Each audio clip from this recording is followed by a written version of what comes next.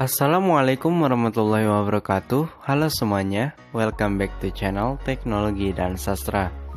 Jumpa lagi dengan saya di video kali ini Dan di kesempatan kali ini Saya akan berbagi tutorial Cara mengaktifkan URL atau link Google Drive Agar dapat diakses oleh semua orang Jadi secara default file yang ada di dalam Google Drive kita itu hanya dapat diakses oleh kita sendiri selaku pemilik file khususnya untuk Google Drive versi terbaru saat ini ya. Namun kita dapat mengubah atau mengaktifkan link tersebut agar dapat diakses oleh semua orang dan orang-orang tersebut dapat e, membuka dan mendownload filenya. Lalu bagaimana sih caranya? Namun sebelum itu jangan lupa untuk like, comment, and subscribe dulu channel Teknologi dan Sastra. Oke teman-teman, untuk mengaktifkan linknya agar dapat diakses oleh semua orang, langsung aja kalian masuk ke Google Drive-nya. Lalu di sini langsung aja kita klik titik tiga di pojok kanan atas dari filenya. Sebagai contoh, di sini saya akan memilih file ini. Tindakan lainnya untuk Smart DTS 2 8 Smart tindakan lainnya untuk video show 8 7 5 RC Comics Video Studio Editor Untuk pengguna screen reader seperti saya ini dibacakan oleh screen readernya itu tindakan lainnya ya. Kita klik Langsung aja di sini kita pilih kelola orang dan link. Sediakan saat. Tambahkan. Kelola orang dan link. Ini ya, kita klik.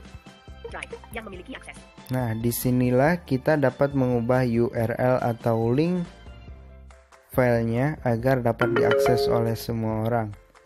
Dan di sini kita bisa lihat status defaultnya masih dibatasi ya, artinya hanya orang yang ditambahkan yang dapat membuka dengan link ini. Untuk mengubahnya langsung aja kita klik di bagian ubah. ubah. Lalu pilih dibatasi. Dibatasi hanya orang yang telah ditambahkan. Setelah itu kita pilih siapa saja yang memiliki link. Siapa saja yang memiliki link. Nah, dengan demikian siapa pun yang e, mendapatkan link ini itu sudah dapat membuka filenya ya dan sekaligus mendownloadnya juga tanpa harus meminta akses terlebih dahulu. Oke, kita tutup dulu yang memiliki akses. Dan di sini jika kalian ingin membagikan linknya ke media sosial kalian seperti WhatsApp dan media lainnya, langsung aja kalian klik salin link. Siapa salin link? Nah, di sini juga keterangannya udah berubah ya, teman-teman. Bukan dibatasi lagi. Siap, salin link. Nah, kita klik salin link lalu kita masuk ke WhatsApp.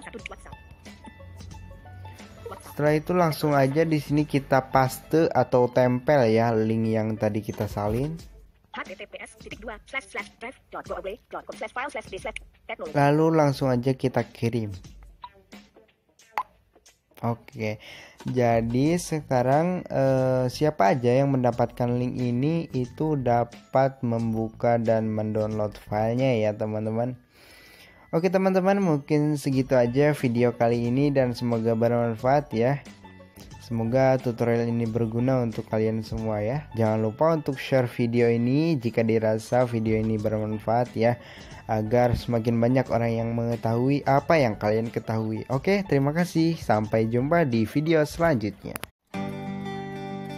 Oke teman-teman semua terima kasih ya yang sudah menyimak video saya sampai selesai. Dan semoga video ini bermanfaat ya teman-teman Dukung terus channel ini supaya semakin berkembang dengan cara klik tombol like, comment, and subscribe. Lalu jangan lupa juga ya untuk aktifkan tombol lonceng notifikasinya. Nantikan terus video terbaru dari saya. Bye